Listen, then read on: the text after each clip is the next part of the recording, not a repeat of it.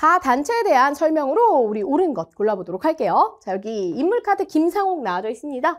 김원봉을 중심으로 조직된 가의 단원 누굽니까? 가, 의열단 되겠죠? 김원봉은 의열단, 김구는 항인애국단이요. 자, 종로경찰서에 폭탄 투척했고요. 그죠? 그래서 일제 무력으로 저항했던 그 모습 기억해 주세요. 자, 의열단이 갑자기 가게 하나를 제정하진 않겠죠. 가게 하나는 조선어 학회에서 제정을 합니다. 잡지 한글을 간행하기도 하죠. 자, 백오인 사건으로 해체된 건 신민회, 그죠? 신민회 기억해 주시고요.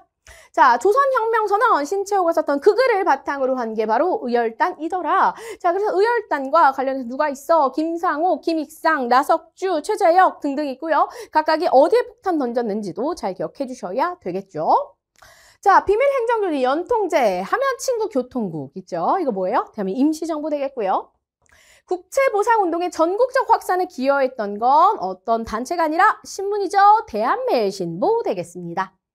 그래서 요거 같은 경우에는 의열단에 대한 것 물어보는 문제인데요. 의열단 하면 신채호의 조선혁명선언 활동 지침으로 했다라는 거 그리고 김원봉이 중심이 돼서 만들어졌고 어떠한 이제 회원들이 있었는지 어디다 던졌는지 다 잘 기억해 주시고 또 관련된 내용이 그래도 또 여러 단체라던가 이런 게 관련된 내용이 나와져 있기 때문에 보기에 나와져 있는 내용까지도 잘 기억해 두셔야 되겠습니다.